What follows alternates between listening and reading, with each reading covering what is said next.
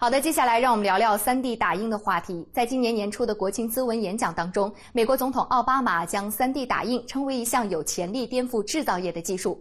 在资本和媒体的追逐下，快速成型技术 3D 打印自去年以来已经成为全球科技界和产业界最热门的名词之一了。其实，工业 3D 打印机已经存在了将近三十年，并广泛的运用于很多行业。那么，3D 打印技术是否已经足够成熟了呢？它对传统的制造业是会带来颠覆还是替代作用呢？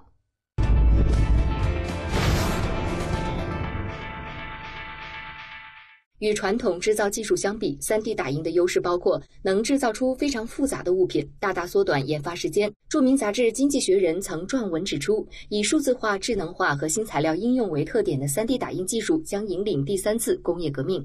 在五月三十日举办的2013世界 3D 打印技术产业大会上，长期跟踪 3D 打印技术的沃勒斯合伙公司总裁特里沃勒斯表示，他期待在有生之年迎接下一次工业革命。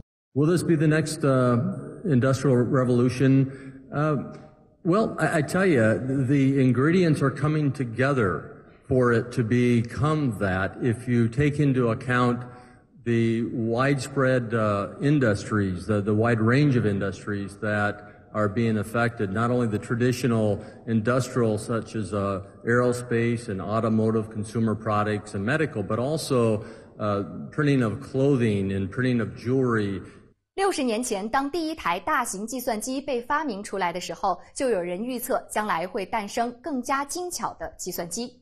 但没有人能想到，当今的计算机和互联网技术会以如此之快的速度渗透到人类的生活当中。有专家认为，3D 打印技术也会有类似的趋势，对人类将产生重大的贡献。比如说，应用在生物制造方面，就是用在医疗方面。刚才 Terry Wals 说了。那将来我们现在硬组织已经实现了，打印牙齿、打印假的骨头已经装到人身上了，可以实现了。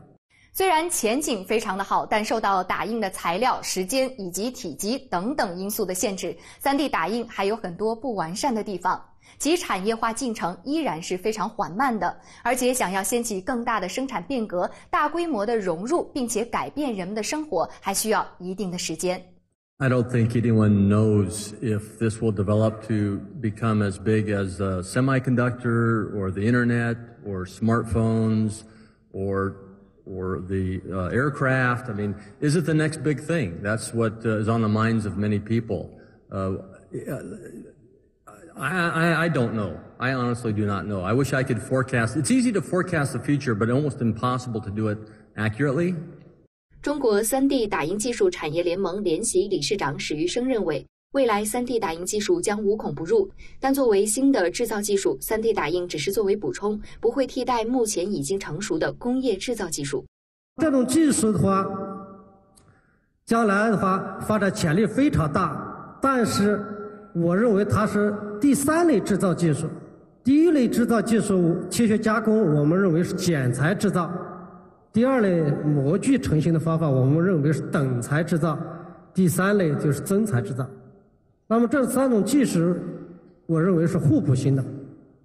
将来的话，从目前的发展趋势来说，这种技术出来也不可能代替切削加工，也不可能代替增材制造。3D 打印技术已经在军事、医学、文化创意等众多的领域得到了应用，而且也逐渐进入了社会大众的视野当中。但由于材料成本高、制造时间长等原因，3D 打印还无法实现大规模的工业制造。看来，要说现在的 3D 打印技术能推动第三次工业革命，还为时尚早。